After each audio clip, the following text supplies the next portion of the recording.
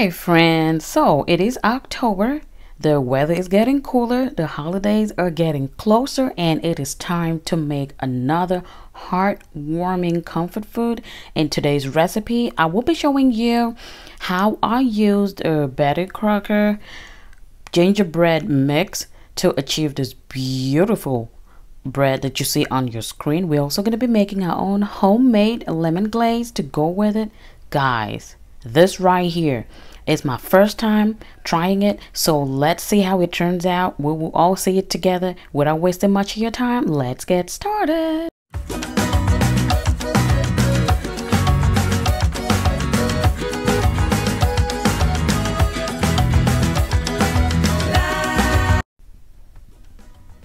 Welcome back friends. So you guys know that I always always use my Duncan Hines um, cake mixes and that's because I just love it so much. But lately I've been getting a lot of requests to work with this brand Betty Crocker.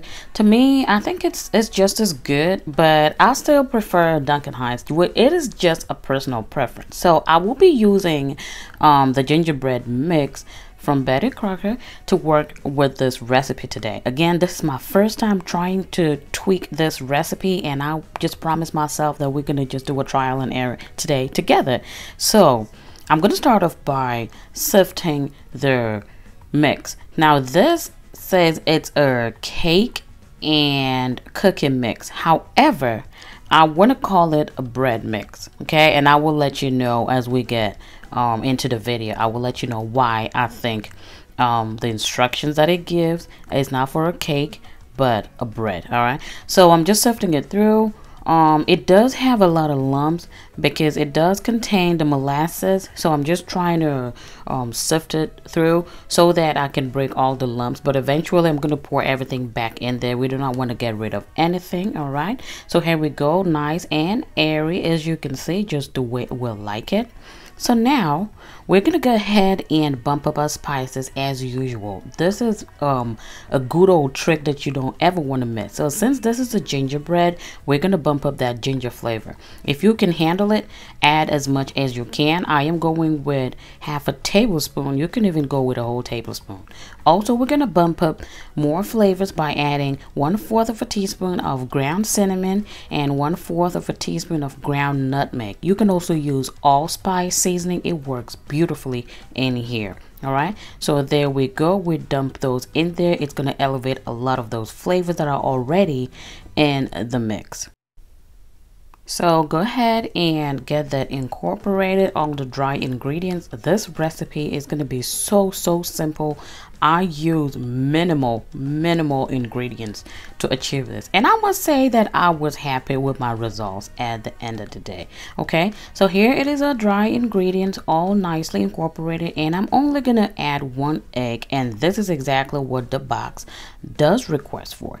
Reason why I added one egg, I was going more for a bread consistency. You know, that old-fashioned gingerbread and not a cake. Okay, if I'm going with a cake, I will definitely need um, at least two eggs to three.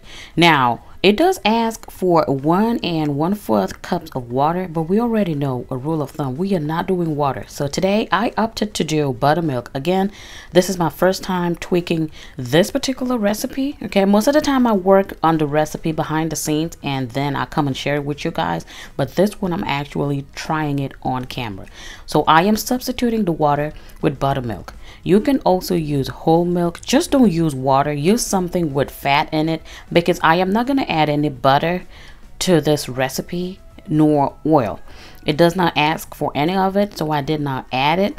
But you can go with one fourth of a cup of vegetable oil if you like your bread to be more on that um really moist side the oil would really do it for you so yeah you can go ahead and add one fourth of a cup of vegetable oil you will get really good results if you have not seen my pumpkin um my pumpkin bread recipe go ahead i will link it in the description box and up in the cards you can see that so that texture that i got from that is very different from this this is like a bread bread it is that it gives me that traditional just old school old fashioned gingerbread. So if that is what you like, then this recipe is definitely for you.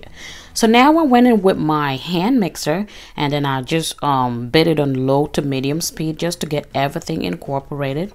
Be careful not to overbeat it. We do not have a lot of ingredients so um, you don't really need to bit this for more than two minutes. Now here is a batter. This is what it looks like. It is very light as you can see, which is what I'm going for. I want my bread to be to really look like a bread, you know, and taste like it as well as the texture. So this is what we're working with.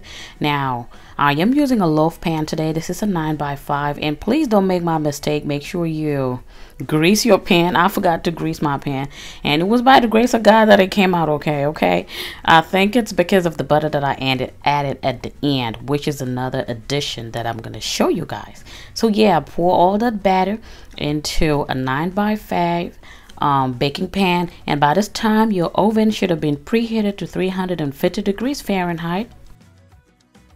Get all the batter in there. Make sure you scoop and scrape the bowl entirely. And next we're just going to try to level up the batter in our pan as much as possible just to get a nice and even bread when it comes out. So into our oven it goes for 35 to 40 minutes okay make sure that a toothpick inserted in the middle comes out dry. And here we go guys. Look at that. This was one of the most perfect and beautiful loaf i have baked in a while. The smell guys those spices and the fresh spices that we just added the bomb. You can see what it looks like up close it really did the job for me. As you can see it still has that bounce to it even though we did not add any butter or any of that. So it is really nice and airy just the way we want it. Now like i mentioned i do have a tip for you as well. When the while the bread is still hot i want you to melt one tablespoon of butter. This is my Kerrygold butter you can use salted or unsalted this is Kerrygold butter one tablespoon melted and you want to brush that and pour that all over the top of the bread let me tell you this step right here is going to form that nice base for a glaze that we're going to add to our bread and let me tell you it does add a lot of moisture a lot of flavor to our bread. So please, this is a must have. Do not forget to add um, one tablespoon of butter and let the bread rest and cool completely. Then we'll go ahead and make our lemon glaze. This glaze is so simple, you just need two ingredients. So here I have two cups of powdered sugar or confectioner's sugar, two cups of that. And to that I am adding some freshly squeezed lemon juice. I just squeezed these lemons out. So I will be adding a total of three tablespoons of that lemon juice okay? I added it gradually but in total i used three tablespoons of freshly squeezed lemon juice to two cups of powdered sugar. And I was going for a really thick glaze something that can harden and form a nice coating over our baked bread. So yeah when you work with box cakes uh, box mixes you and you cut a lot of ingredients please always make your glaze or frosting from scratch you will always always get the results that you desire. So here is our glaze. Now we're gonna go ahead and pour it on that cool bread. Guys look at that fold that we're getting. Satisfying again. I love this process so much. So you're just gonna go ahead and pour that over the bread and then you can just use a spatula and then just move it around. We're trying to form like a thick layering over it you know a nice layer of that um, lemon frosting. It tastes so good. Just two ingredients. So yeah as you can see i'm just using my spatula and just moving it around so that the bread gets covered. Guys this look it's just so beautiful if you get to try any of my recipes and you want to share a picture with me, you can do so by following me and tagging me on Instagram or Facebook.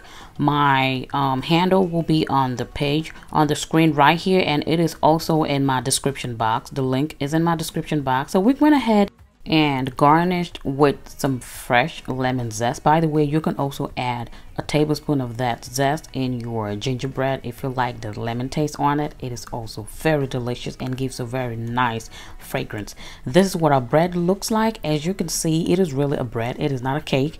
Um, at all. So this is what it looks like. I really like the outcome for a bread. So I would give this a pass as well. And I hope you get to try it and let me know how you like it. Thank you guys so much for watching. I will catch you guys in my next one. Y'all stay safe. I love you all. Bye.